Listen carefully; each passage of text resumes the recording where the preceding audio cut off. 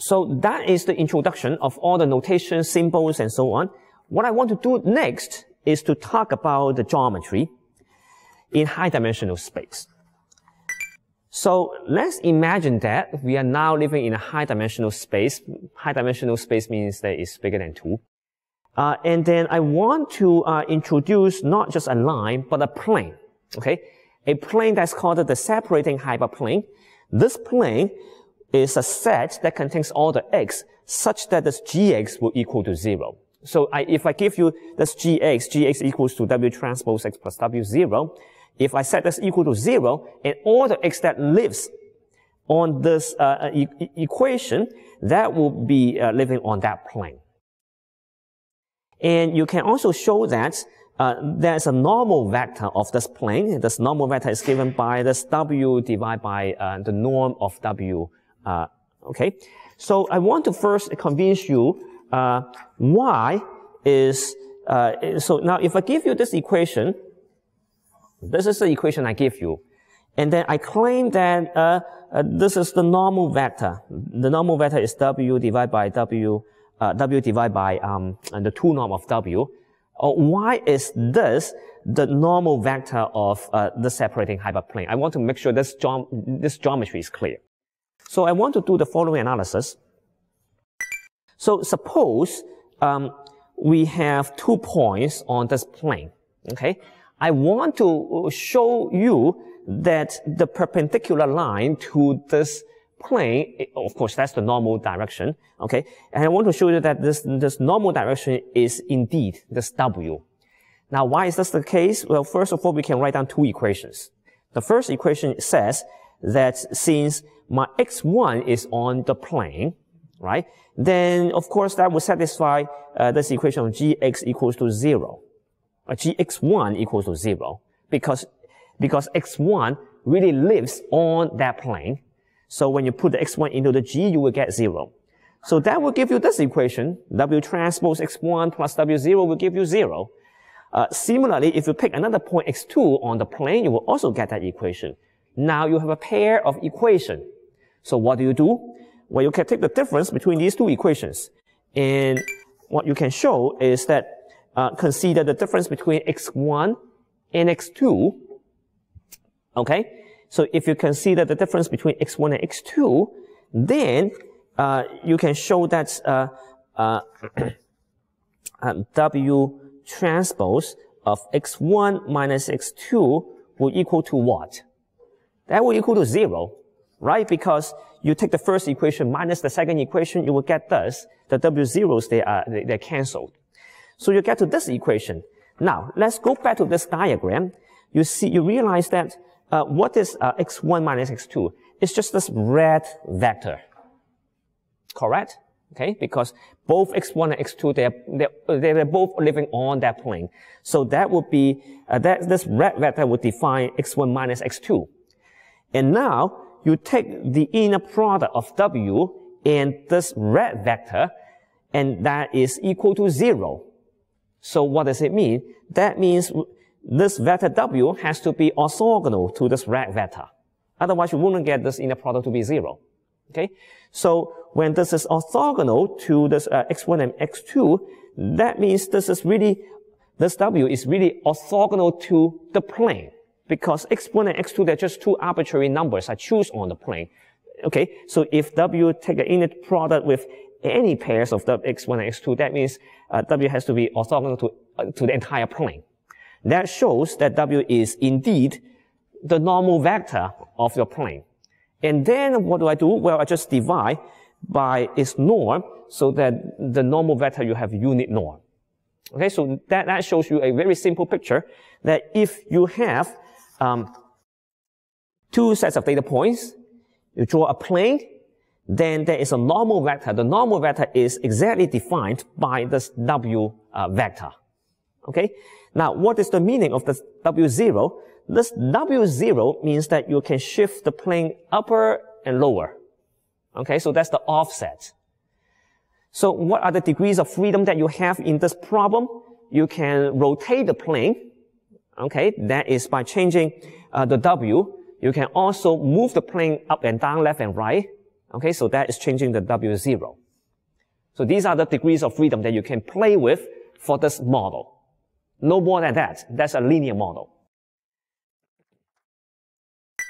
All right. So the next question is again a problem about the geometry. I give you a data point, okay, uh, which is of course not living on the plane.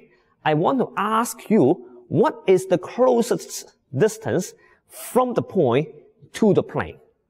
Okay, now we need to measure that because uh, imagine you have you have a you have a separating hyperplane, and then a point that's extremely close to your decision boundary. Then you will say that it is actually not a very good decision boundary because it's as long as you have a small perturbation of data point, you can go across a class. It's too, too sensitive, right? So you want to measure the separation between your plane and also the data point. That's called the margin. Okay, if you have taken a class on another machine learning course, you know this thing called support vector machine that's measuring the margin. That is it. Okay, so here we want to spend a few minutes here uh, to understand how do we calculate the distance from a point to a plane. Extremely simple exercise, we want to do it. Okay, so now there are two approaches to, to solve this problem. I will I will illustrate both to make sure that we really get the idea. Now, the first approach is to do it on the picture. Okay, something that I prefer to do. So what do you have? Imagine that you have x0, which is not on the plane. It's either on the positive side or on the, on the negative side of the plane. You have a data point x0. And now, on, uh, along this uh, uh, normal vector, you draw uh, on this plane xp.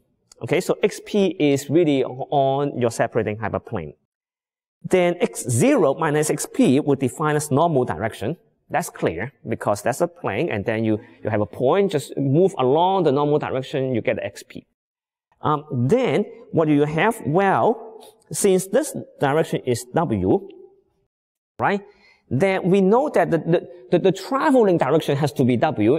As long as I can figure out the, the step size, I will know uh, how to travel from xp to x0.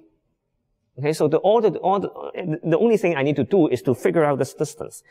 But that's not too hard because uh, uh, if I know that the traveling uh, direction is w divided by w2 norm, and I know that this vector, wait, this is a vector, is denoted by x0 minus xp, then I know that x0 minus xp has to be a, a, a scalar, eta, times your W vector. Now, realize that this W vector has a, has, has a unit norm because I divided by the two norm. Okay? So, uh, I have a scalar that will define your, your, your distance between, uh, the plane and the point. Okay, so now I can also plug this point xp into the equation of g. Why? Because I know that xp is living on the plane, so if I put xp into the g, I will get zero. So what do I get? Well, let's look at this equation. So this equation says that g of xp equals to zero. Now I can also evaluate g of x0. Then what is g of x0? It will be w transpose x0 plus w0. And then you can replace this um, x0 by what? Well, x0 you have, you have here. You have here, right? Because x0 will just be xp plus whatever you have this travel. Okay, so you put this number in, then you get the following equation. You have W transpose of this quantity, and then you can squeeze this XP out, and then combine with W0.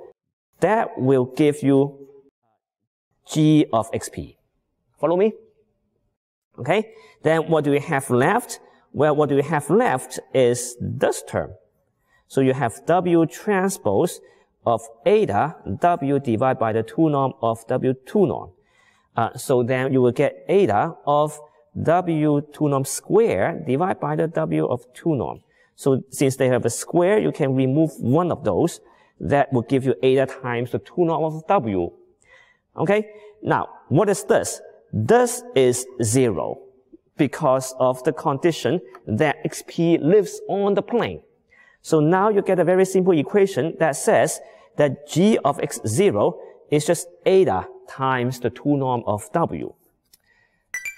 Okay, so now you can do what? Well, then you can just move around the terms. Okay, so since, since the previous uh, slide says that g of uh, x0 equals to eta of the norm of w, then you can just uh, divide both sides by the 2 norm of w, you get eta. And so eta will equal to 1. Well, it will, it will equal to g times g evaluated at x0 divided by the 2 norm of w. So what do we have? You find the distance between the point and also the plane. Isn't it? Because the, the, the distance is exactly your eta. Eta is your distance. And so now I have expression of the eta, and it's gx0 divided by the 2 norm of w. So I find that. Okay, so then what? Well, then I can, further, I can tell you exactly what is this xp. This xp will be x0 minus this, this propagation. Okay, so it will be x0 minus eta times this normal vector. And so you have this expression here. So you have xp that will equal to uh, gx0 divided by the 2 norm of w times this normal vector. Okay, now you can decouple these two terms to see that xp, this point on the plane, is exactly equal to x0 minus the distance, that is your, that, that, that is your eta, okay? And then times the normal vector, which is this uh, w divided by w 2 norm. Without any calculus, just by drawing a picture, we can get everything we want, okay? So now when people ask you, I have a data set, I have two groups of data points, and then I have a plane. Can you tell me what is the margin? You go through the data set, find the point that's closest to your data, closest to your plane, measure that distance according to this formula, you get it. Now, how do you measure? It's actually very simple. You just put all the data points through this G, okay? And what is this G? And don't forget that this G is just uh, W transpose X plus W0. So as long as you have W, you have W0, calculating this G is it's fairly straightforward. Okay, so you evaluate all these data points and then you can tell what is the smallest distance from the data set to the plane. Everything is clear, okay? Okay, now there is an alternative approach to solve this problem. Uh, the alternative approach to solve this problem is by means of optimization.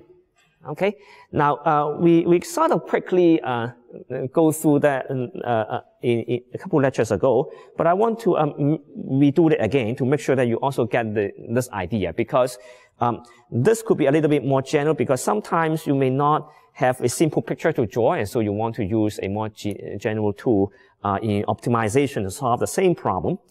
So what is the problem that we are encountering? Well, we're encountering this. We want to minimize the distance between x and x0. So x would be your optimization variable. That would be a point on the plane, although I haven't de decided which point yet. Okay, I need to solve this optimization problem to find a point on the plane such that this distance is minimized. And then I have a constraint that this point has to live on the plane. Okay, so this equation says that gx equals to zero.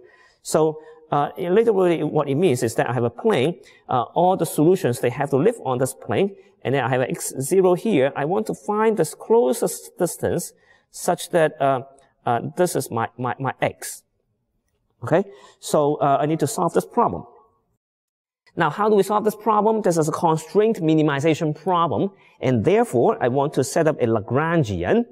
This Lagrangian will have two variables. You have x, you have a lambda. Lambda is called the Lagrange multiplier. Then you have uh, this objective function, and then you have this Lagrange multiplier term.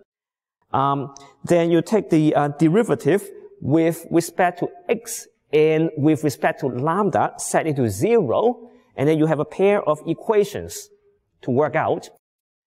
Uh, so what do we have? Well, uh, you have this pair of equations, and then you have all these uh, uh conditions. So we can start with this equation, and then we can multiply both sides by W transpose, and you can add W0 to the both sides, and then you go through all these derivations. Okay. Now, if you are not following, it's okay to go home and buy the coffee and then sit down for, for 10 minutes. You'll be able to do it. Okay, it's just linear algebra. So I'm skipping that. And then at the end of the day, what do you have? Well, at the end of the day, you will get to here. Okay, now let's look at this expression. You have this x will equal to x0 plus uh, this G evaluated at x0 divided by the 2 norm square of W. Okay, so that is your solution. And you can rearrange this solution to the following form. Okay, so x equal to x0, and then you have minus sign. You can pull out this minus sign. You can actually get the exact same solution as before. You have this, this distance times your normal vector. Okay, so that shows you what? What that shows you that uh, the pictorial approach matches with your optimization approach. So that's like a cross-validation procedure okay, mental cross-validation procedure that you can do in your brain, okay, to make sure that the solution that you're obtaining for both approaches, they're correct, okay. Um, so, uh, we will go into, we are going to use these uh, results very often in a couple occasions. One is that we are going to define the uh, uh, uh, uh, separating hyperplanes. We are going to define the classifiers. So that will give us a way to measure how far you are from the, the data set. Uh, another occasion that we'll use is to define support vector machines.